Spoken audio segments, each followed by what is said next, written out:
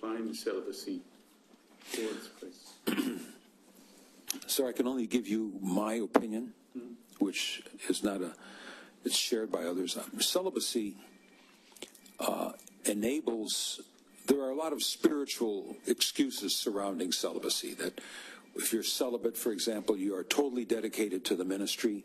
Uh, you have no distracting issues such as your wife and your children.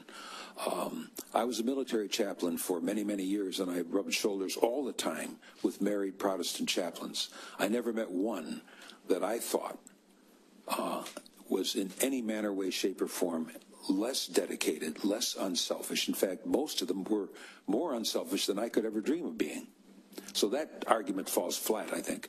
Um, the, the justification uh, is generally given in spiritual terms, and it's all based on the teaching of human sexuality that if you don't have sex, you're a better person, a higher person than those that do. Virginity is a higher calling.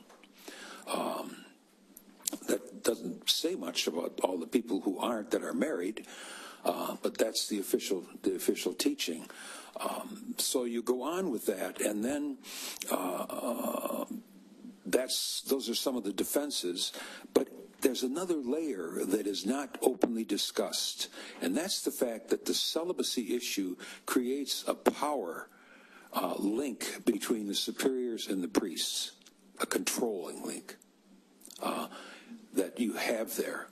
It also um, creates a mystique about the priests, as I mentioned earlier, that, that we have some sort of extra power, something about us because we're able to live in a celibate life. We're set apart. We're over there.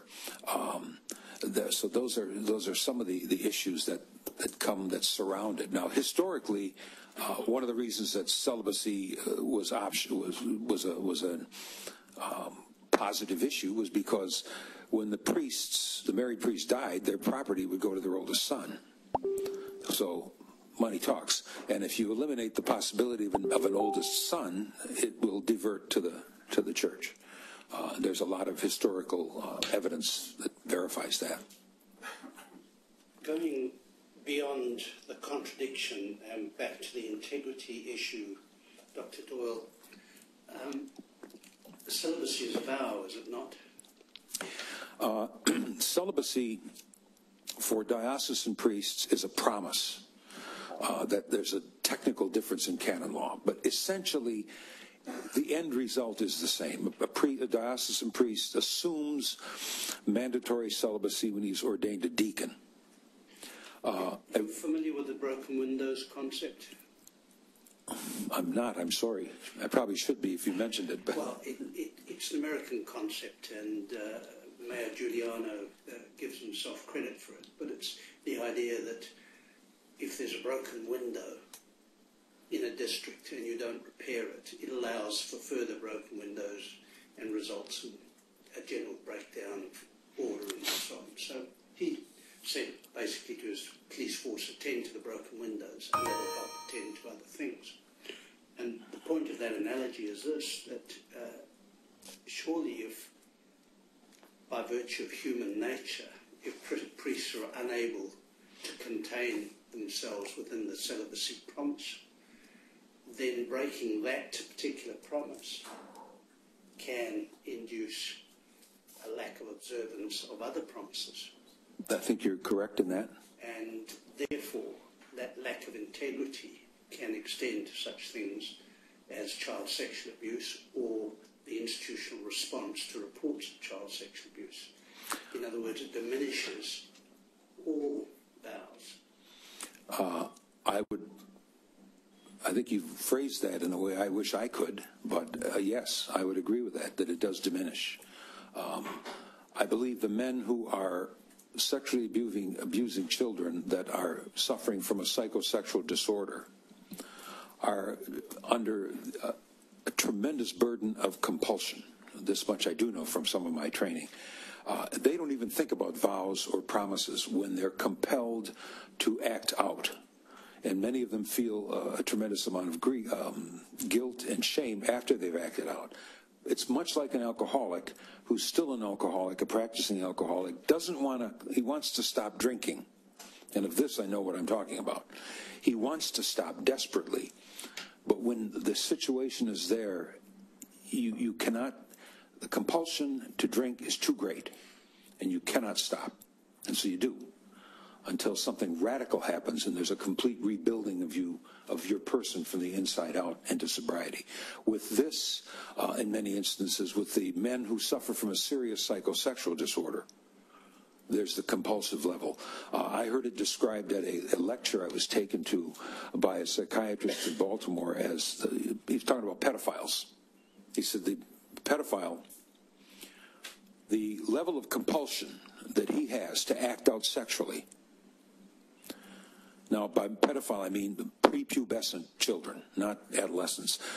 The level of compulsion is approximately 40 times more than the level of compulsion of a healthy male at the peak of his sexuality. Uh, and that somewhat explains a little bit of the, the incredible compulsion of that particular subgenre of this.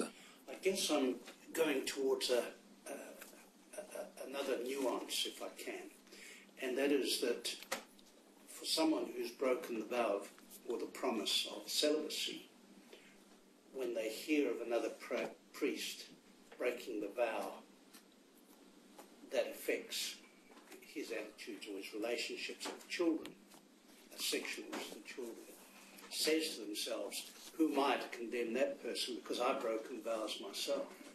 Now, I don't know if that's part of the priestly mentality, but what's extraordinary about child sexual abuse within the church is a lack of people coming forward to report it. And I've wondered if that's because they have taken the view that we're all sinners. We've broken this vow, you've broken that vow, well, you know. I, I can speak to that a little bit. Uh, I uh, do know of the fact that very, very few priests who have known about this happening in their living circumstances have reported it. Sometimes in the past, I know of instances where they have reported it. And this factor that you brought up, that I've never, that's never come across my, my screen, so to speak. Ordinarily, the reason for failure to report is I don't want to get involved, or uh, I know this guy, I don't want to get him in trouble um, or uh, something of that nature, uh, where they they will. I mean, I've seen cases where priests have actually walked in on other priests engaging in sex with young boys or young girls and walked out the door and said nothing. So it's more, uh, I think, uh, but the question you ask is a very good question. Why have not more men come forward? Part of that has to do with the fact that some of those who have have been told by the bishop keep your mouth shut, mind your own business, go back.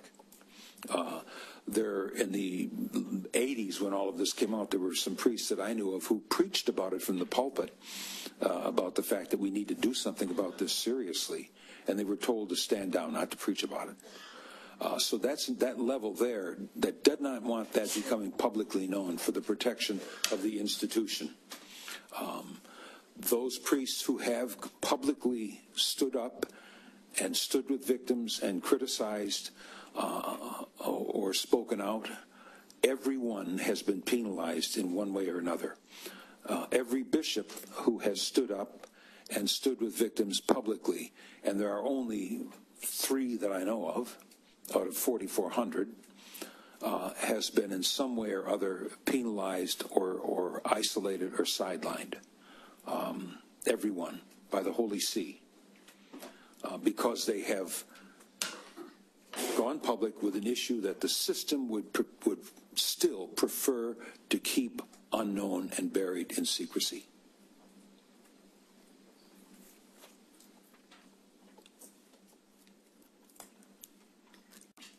Doctor, you referred earlier to there being a misunderstanding of what the church really is. Perhaps you could just explain that a bit further. Yes, I will. I'd be happy to. Oftentimes we hear the phrase, we must, don't do this, don't report it for the good of the church. Or the policeman who arrests a priest said, I'm going to turn him, take him back to the rectory for the good of the church. Or victims are told, don't say anything about this for the good of the church. Or the excuse that we've kept it under, we've hidden it, we've shuffled men around for the good of the church. Who is the church? That is heresy, because the church, according to the official teaching of the Second Vatican Council, is the people of God, all of the people of God, including the victims and their mothers and fathers, including the people who have walked out the door and left. They are officially the people of God. The structure, which is oftentimes the church in the minds of way too many people, is part of that. That gives structure to the people of God. But that is not the be all and the end all of the concept of the church. And I have learned over the years of dealing with this that unfortunately the belief that we are the church, namely we who are in the governmental structure, we who are part of the system are the church, uh, is not true. It's simply not true. And but that belief, if you believe that deeply, First off, for many of these men, that belief guarantees their past, their present, and their future, their whole life. Second, that belief justifies protecting the church, even though we, we hate to have to do this. We don't want to sacrifice uh, these victims and so on, but we must protect the church at all costs. And that essentially is what is the, the justification, the concept that this structure, this, this institution, this governing structure, and the men in it are they are the church and that they must be protected at all costs. One thing I didn't mention earlier, and I can briefly say that Catholic Church revolves around the sacraments, the seven ceremonies that are connected with various important parts of your life communion, baptism, confirmation. And our way to salvation, uh, to the door to the other side, is through the sacraments. The sacraments are controlled by the clergy the average layperson has a passive dependent relationship with the priests because the priest decides if you're going to get married or not. He gives you communion. Here, here's your confession. He does your confirmation, or the bishop does, etc. So the sacraments, which are part of the institution, they're the visible symbols of the the the, the insurance policy that you have, so to speak, and that's protected by the clerical culture and by the institutional church. So that does take on a tremendous amount of importance, whereby I think it, it renders it possible to not even see the concept of church as people of God, as this wide group out there, and not even consider these children or these young adults or these older adults from abuse years ago as as important a person in the church as the Pope or the cardinals. Now that is the doctrine everybody's equal in the eyes of God. Not down here, but up there they are. Uh, Doctor, from your experience and knowledge, are there any suggestions you might make to the Royal Commission as to what changes might be made to affect for the better the institutional response going forward? Uh, yes, I wouldn't have come over here, I think, if I couldn't offer some suggestions. Um, thank you. Uh, first, I'd like to say I'm very honored to be here because I believe what you are doing is unique in the world. It's historic. Uh, it's going to make a mammoth difference in the long run. I mean, you've taken something on that is mind boggling, and you're going into it in a deeper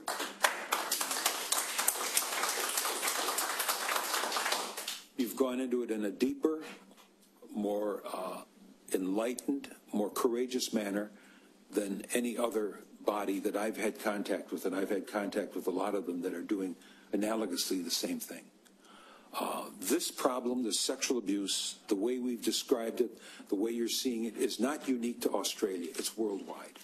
And what you do and what you say and what you come up with at the end is going to have an effect around the world and it's hopefully going to have a profound effect in the Vatican. And it's another pile of information that is saying what they do not want to hear. But this issue is damaging the most vulnerable people in the church. And I believe the community, you are the people of God, have an obligation to say to the system, to the institution, this is what we found. You need to make some changes to make sure this doesn't keep happening. And those changes are structural. Now, I'm not so naive to think that the monarchy is going to fall. There's never been a monarchy that we know of that's voluntarily given up its system in favor of democracy. But that's what you're dealing with. So somehow or other, to make it clear that the, the, the primary importance, primary concern has to be the victims of sexual abuse or any other kind of abuse that happens at the hands of the clergy, and that the clergy, coming the Pope on down, we're all on the same level. It's an equal playing field in the eyes of God, and so we got to take care of each other in the same way. And I think uh, um, that what you are doing here, uh, if you, one of the biggest holes, as I mentioned earlier, has been the lack of pastoral care for victims. Now, the church, the broader church, takes care of the victims. There's men and women, religious women, that are reaching out, that are helping the victims. There were two gentlemen out there said that they're here to be aids for the victims. But the official system has not sent down a decree from on high on offering pastoral care and how to do it, and asking the questions: What kind of pastoral care do they need? And that's simply, for me, it's just been listening, letting them cry, be angry, yell, scream, whatever get it off and try to help the people understand that, you know, you aren't guilty of anything. But there's a whole bag there. But that is more important than all the protocols, all the the structures, all the, the, the policies, all the paperwork, all the infant, you know, the, the talk, talk, talk that's been going on. The action is what is needed. Victims are sick and tired of apologies, of explanations, of more promises, of more protocols, of more policies. We're going to do this, we're going to do that. They want something to happen. So that if they make a complaint, why isn't it okay for the bishop to say, I'm getting in my car and going over to her house and sit with her family and listen to what happened? That's pretty important. And I think that to me is, is the essence of the whole thing. So if you have if you, you want to recommend one thing, it's that there be, has to be a primary concern on the care of the present victims, the ones who are there. The, the, the, those whose souls have either been damaged beyond repair or who are seriously suffering. Dr. Doyle, you said earlier in your evidence, sorry, uh, that, that um, there was a, an, an inability to comprehend the damage. Did you want to just elaborate a bit more about why there is this inability to comprehend the, the, the damage that clearly you've been able to understand as you've worked with victims? Well, I when I first became involved in this, I didn't have a full idea. I knew, just as a normal person, that if a if an adult male engages in some form of sex with a, with a, a child or uh, an adolescent using force, that that's going to be damaging. I didn't know what it was, but I think the as we've gone on, the whole concept of human sexuality, uh, where it's it's put uh, traditionally in the Catholic Church in the realm of morals, it's something the will controls. It's a sin you get absolution from the sin. If you are the victim, uh, you put it behind you and move on. Uh, the, the inability, I think, to understand some of those uh, non-concrete realities of, of what happens when you're violated sexually. And that stems, I think, from the inability or the lack of awareness as to what human sexuality really is. Uh, when you have the Vatican saying that homosexuality, homosexual men or women are intrinsically disordered, uh, that says volumes. That says we don't really know what we're talking about when you say that about any human being, uh, that they're sec- that they're internally disordered.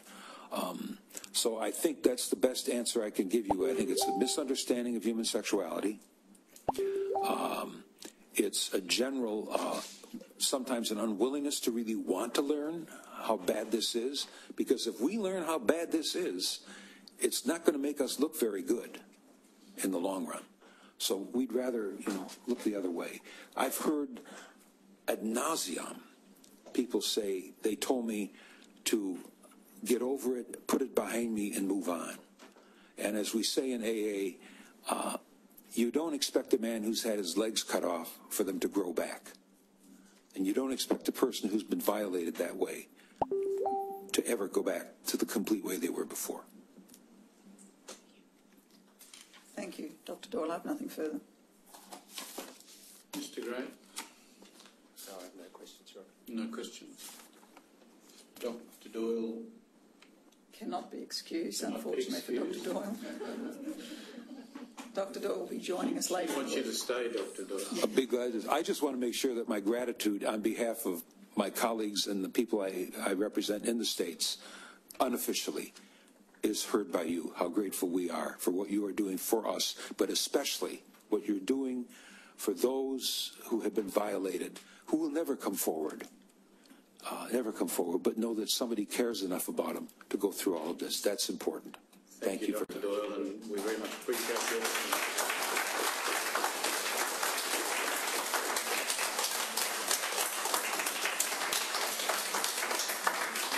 Uh, Your Honour, we, Can't be excused, but what do I do with it? Dr. Doyle, you may leave the witness box.